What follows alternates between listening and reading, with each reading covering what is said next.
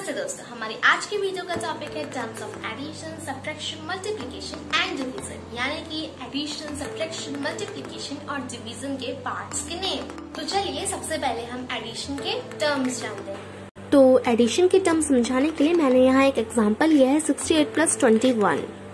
जिन दो नंबर को हम प्लस करते हैं, उन्हें हम एडेंट कहते हैं और उन दोनों को प्लस कर जो आंसर आता है, उसे हम सम कहते हैं. तो चलिए अब मैं आपको बताती हूँ टर्म्स ऑफ़ सब्ट्रैक्शन सब्ट्रैक्शन के टर्म्स के लिए हमारा एग्ज़ाम्पल है 57 सेवन माइनस थर्टी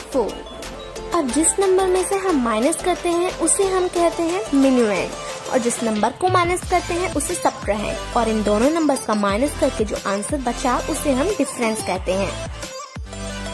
चलिए अब हम समझते हैं टर्म्स ऑफ़ मल्टीप्लीकेशन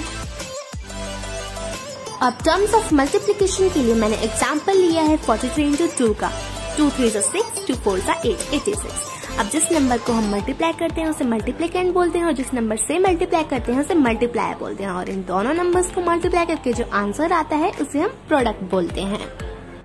तो चलिए, अब हम समझते हैं टर्म्स ऑफ़ डिवीज़न अब डिवीज़न के लिए मैंने एग्ज़ाम्पल लिया है 14 डिवाइडेड बाई 4 जिससे हम डिवाइड करते हैं डिवाइजर जिसमें हम डिवाइड करते हैं डिवाइडेंट जितनी बार गया क्वेश्चन और जो माइनस करके बचा, उसे हम कहते हैं रिमाइंडर तो ये थे terms of addition subtraction multiplication and division I hope आपको ये नॉलेजेबल वीडियो पसंद आई होगी। तो इसे ज़्यादा से ज़्यादा शेयर कीजिएगा, जिससे ये सबके पास कौन सा हाँ। अगर आप ऐसी बच्ची को भी वीडियो देखना चाहती हैं तो मुझे कमेंट सेक्शन में ज़रूर बताइएगा। Thanks for watching the video